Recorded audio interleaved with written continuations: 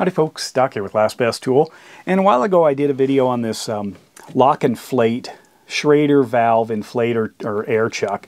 And it's great, it's overbuilt, it's expensive, it's super long, especially if you need the adapter, which I did. Uh, but I had mentioned that it in fact leaks on a lot of um, Schrader valves. Not huge amounts, in fact usually um, like the compressor or the um, inflator can you know, pump in way more air than is being lost. Um, but it's still kind of maddening to have such an expensive um, kind of overbuilt tool that doesn't perform flawlessly.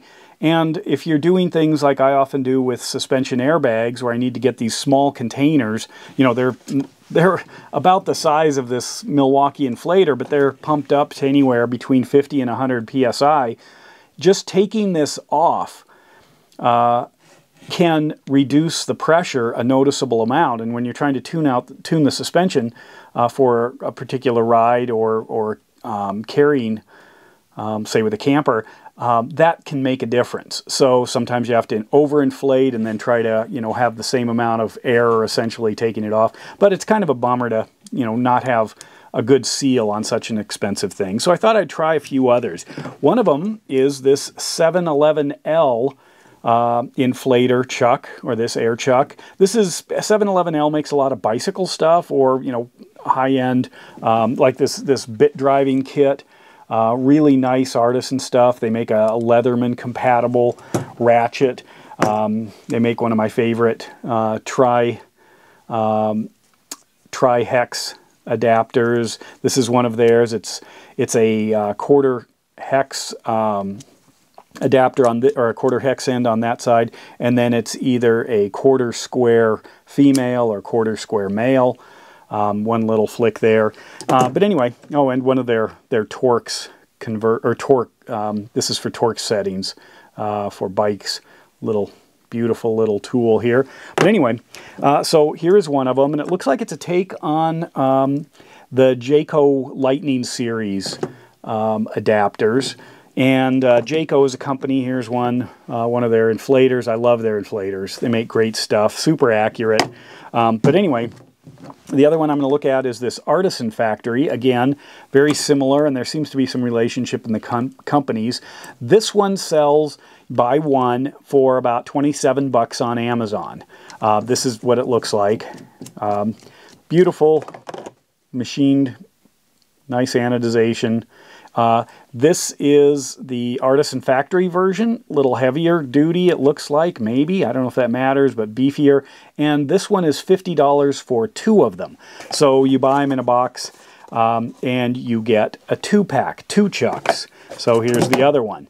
Uh, so they're roughly the same price, and both of them then are considerably less than the LockNFlate. So anyway, what I'm going to do, real simple test. Um, here's the LockNFlate. Here is an, a Schrader valve on a bike tire. This probably got about 50 psi in it. So I'm just going to stick this on.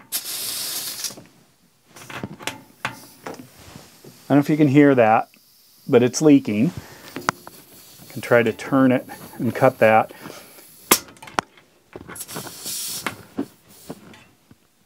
There, it's not leaking. Little leak. Can you hear that? Anyway, um, so normally, you know, I might just screw this thing on, but again, there is a depressurization of both the tube, which makes it sound uh, like you're losing a bunch of air, but you also are losing air as this is breaking that connection with the Schrader valve.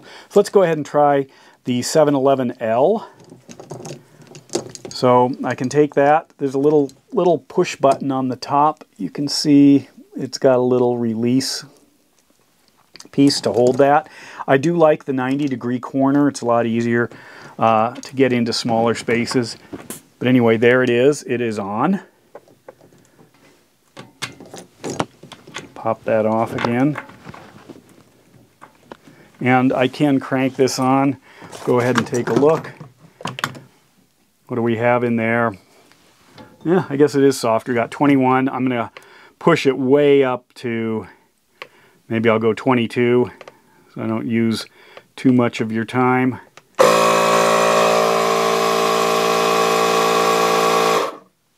There it is. I don't hear a sound.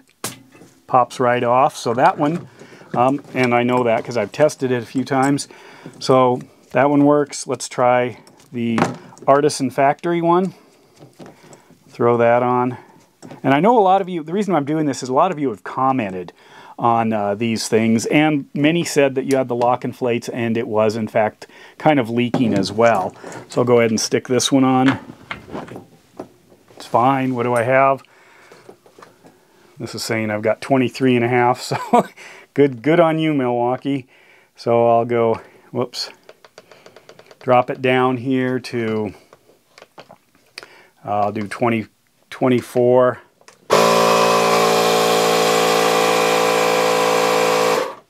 So there it is. No leak. Pops right off. So anyway, won't belabor the point, but I think for LockNFlate's advertising for their price, I really expect it to fit more Schrader valves better.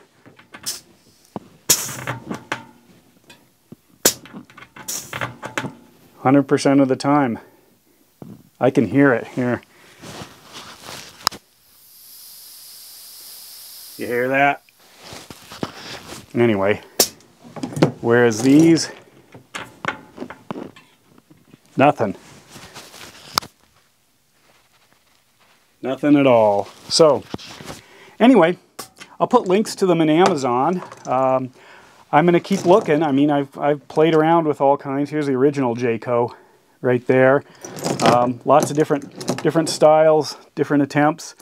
Um, but I was hoping LockNFlate would be it, and instead uh, it's just the beefiest one. I mean, if you're doing semis, maybe something this big. If you're doing bicycles, intricate stuff, definitely uh, keep exploring. And with that, Doc out.